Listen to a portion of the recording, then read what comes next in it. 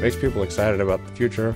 Uh, you, you know, you look forward to you know wake up in the morning and think, hey, what's going to be great about the future? It's like, man, if we're out there and we're a spacefaring civilization, and and visiting other planets and there's ex- exciting planets, I think that's that's what gets one of those things that gets people fired up. Now, almost half a century since humans were last on the moon. It's too long. We need to get back there and and, uh, and have a permanent base on the moon. I think a, a like a big permanently occupied base on the moon, and uh, and then build a city on Mars and become a spacefaring, you know, like a spacefaring civilization, a multi-planet species.